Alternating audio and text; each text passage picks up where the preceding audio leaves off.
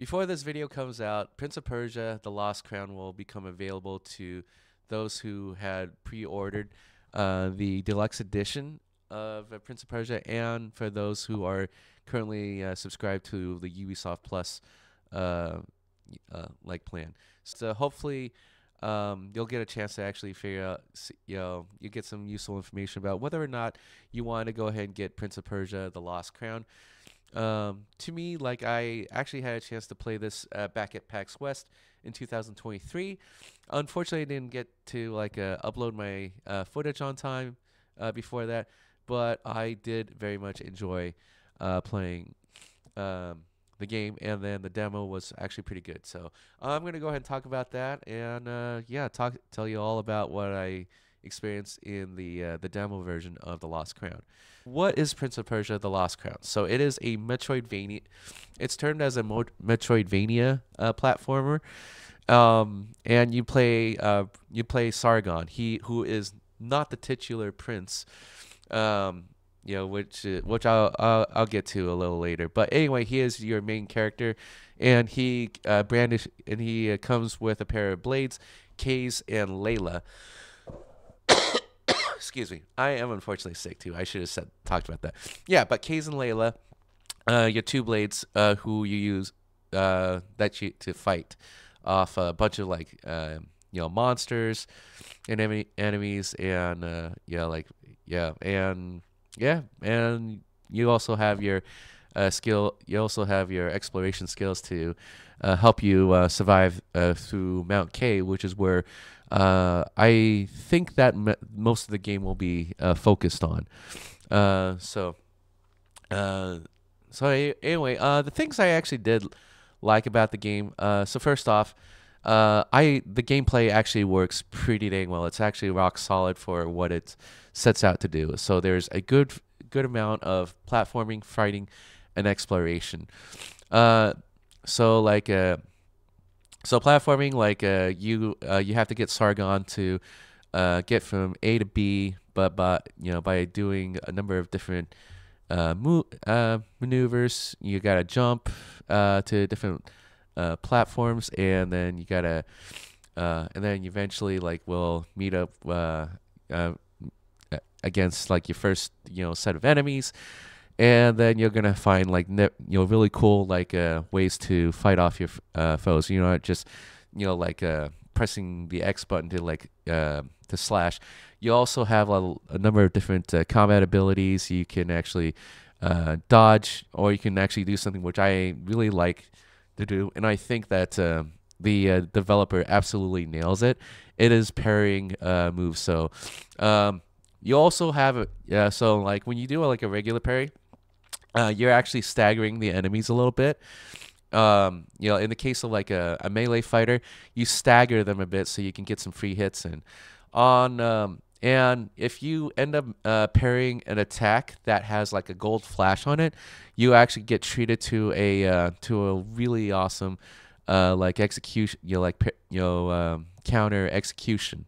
Um, I don't think it's called. Yeah, I think it's called Athra. I don't know. I don't know if it's Athra, but yeah, basically your your, your charge meter, uh, so that you can unleash your abilities, which I think is pretty cool. Uh, you can either do like offensive attacks, or you can actually set up like a healing field in this demo, and I'm pretty sure that there'll be other abilities available as you play through the game. Um, so other thing uh so other uh, weapons that you have like you have like um a couple of ranged weapons. You have uh you have arrows uh your bow and arrow and then you have a uh, you have a bladed like a disc uh, that you throw around. You throw it and it co- comes back to you. I actually like so like and what is kind of interesting is that I prefer to use the blade mainly because I'm I'm patient when it comes to aiming, and so when a, when the blade becomes available, like instead of using the bow and arrow, I just like by default I will just throw that blade. So there is a there are some situations where you'll be uh well you'll have to use the bow and arrow to make your way um, up different uh, platforms, which I think is pretty cool. So I think like you know that's just something to keep in mind when you're trying to figure out how to get past a certain area and uh, which also like segues into like many of the different visual cues and the audio cues so you you really got to pay attention to uh, what's going on in the environment so that you can advance further. And I think, I think Prince of Persia does a great job of like uh, taking advantage of uh, all these like, um, you know, these different cues. So well done to Ubisoft for actually like uh, putting in a lot of effort to make this um, a fun and an enjoyable like ex- experience. Okay, so um, the enemy variety, you know, it's yeah, it seems pretty standard so far. I mean, like I think it uh, the demo does convey what uh, what it has available. So you have different, um, you know, en- enemy varieties where like they are.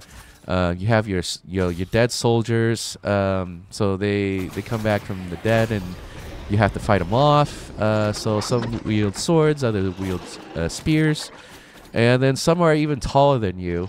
Uh, so there are so you have different approaches that you use to uh, fight them off. Some of them even carry shields, so they come. So you do have to like kind of dodge and then also like um, kind of slide under, or you try to uh, you know like dash above and then come back down on them, and you know and then you know de- dead. So otherwise you can just charge up your like one of your Athra abilities. I think there's a shockwave ability that's there, um, and then you basically pulverize everyone that's in front of you, which is pretty cool. But if you are running low on health uh, and you run out of potions, you can also use a level two to like start up your healing field, which is like uh, which I which I think adds variety to um, you know your Athra abilities. Uh, that you uh, that you have like uh, you know inside of you, which is awesome. I enjoyed that very much. Okay, and then and then lastly, um, I did appreciate uh, the uh, the effort taken into like uh, voicing the dialogue. Now, it's not the it, it is definitely not the best dialogue I've heard, but it is actually but there's a lot of effort being put in to like actually voice this dialogue. And I think like given with what they have, what I believe they have cuz um uh, I think they've actually done a pretty good job. Um so for those who um uh so like uh if didn't know like the you know the the dialogue is actually fully voiced and then there's a, actually some effort like being put in places where they animate the characters and then some other places where they don't like yeah, animate the, the the interactions which kind of confused me quite a bit. So i was actually a little put off by that sometimes but uh, then i just realized it's you know like for for the mo- for now it's just a small nitpick i have right now.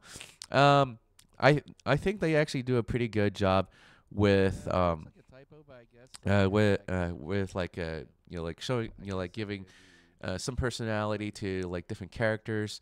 Um, and then like the artwork is really great. I particularly love neith. I think she's absolutely gorgeous. And you know i you know i would love to like you know, fight alongside her if i get the chance. So yeah well done neith um yeah so other than that like um you know you, you know the the your your party isn't the only uh, aren't the only people that you'll be talking with like at certain points in the game. Uh, you also uh, come across like a, a demi goddess uh, who's also like a blacksmith. And then you'll come across uh, you know someone who has uh, been around the temple for a while and will tell you a lot about the uh, uh, the trees, uh, which are essentially like your place to like heal and replenish your weapon, yeah, like your your equipment. So and then also a place to like um, you know equip amulets, which will help you bolster your combat abilities. So um, so that being said, I very much enjoyed um, all those aspects. Okay, so here's here's where so this is where we're gonna get into stuff that um, kind of like threw me off um, and uh, is kind of like dampened my uh, experience a bit. So the title is called Prince of Persia. So this is a game that has had um, many different games and quite uh, and quite a few reboots, uh, you know, series uh, in its uh, uh, lifetime. So if I looked at the so I'm looking at the Wikipedia page, and I see that the first game was developed in 1989, and since then they've had many different reboots. And like my uh, my entry point into the you know, into the franchise was back in 2008. I was a young gun, um, you know, still like uh, still hitting the books. And then when I found time, I would actually play Prince of Persia. Um, yeah, and I thought this was a really fun like platformer, but then like uh, the story was something that I really didn't really care for for too much. Um, I liked Elika. I liked Elika a lot. She, I thought she was really pretty, and she was someone I wanted to like romance. Um, but anyway, that's just me. Um, I think she was just absolutely gorgeous um, back then, so and I still do. uh, other than that, like uh, so coming to 2023, um, this is the first title that I found that I don't play the prince. I don't think anyone's going to play the prince. Uh, prince Ghassan, who you are tasked to like save, becomes the plot point rather than the uh, the main character. So, which is um, which is kind of like uh, kind of screwy for me. I think they just simply use the ti- the name of the title to actually draw people back into the franchise. And I had and I actually enjoyed um, Prince of Persia, the 2008 version. I never got a chance to try out the other Prince of Persia games. So maybe at some point I will revisit, and maybe there'll be one where I don't like uh, play the Prince. But this is the first time um, that I personally have encountered that um, we're not playing the Prince. So that's that was kind of weird, but okay. Uh, um, so then, uh, um, and then the second thing was, um, this is a demo. So this is a demo build about. So this is going to be like everyone's first impression of what uh, you know, what the Lost Crown is going to offer. But will they know anything about boss encounters? Um, there's some tease that happens at the end of it, but other than that, you don't actually get to fight the boss in the demo. So for me, I thought this was a I thought this was a disappointing miss. Um, which is more importantly, I thought it was kind of confusing that they decided not to include uh, the demo boss because um, the demo boss they actually like you you you played fast enough in the demo back in PAX West, you actually got to fight the demo uh, boss. In which case, the demo boss um, looks like uh, I think it's like a, a manticore or a type of a beast, like a scorpion tail, uh, lion body, uh, and his name is Jahandar. So Jahandar was actually quite uh, quite interesting to fight against. So he's very much bigger than you, and um, uh, and like a and you have to come with a you know figure out like what the attack patterns look like and where can you like uh you know can you find the you know some weak spots uh, and like windows of opportunity to uh, to attack uh, and eventually defeat Jahandar. Now I I ended up getting to Jahandar, but I, unfortunately I I failed my attempt at Jahandar. Um, so uh, so while I didn't get to like uh you know defeat Jahandar, uh, I actually got to like uh, see like what the game has to offer, and I I very much appreciated that, and I saw that this is more than just a platform uh, combat game. Uh, I actually thought, uh, yeah, I thought that this would be a great chance to like, um, uh, you know, just to get back in the series, maybe from a different perspective. So, um, yeah, and I very much appreciated that there were going to be some boss fights uh, happening in the game too. So, and uh, yeah. So other than that, like um, going back to like where all the you know like whether or not it's worth picking up for the game, but as I said earlier in the video, video, um, the game is going to release for those who are uh, either who bought uh, pre-ordered the deluxe edition or are going to uh, or like um, uh, a Ubisoft Plus subscriber. Personally, uh, I think it's more worth it to just like subscribe to Ubisoft Plus and then just get your you know digital bonuses.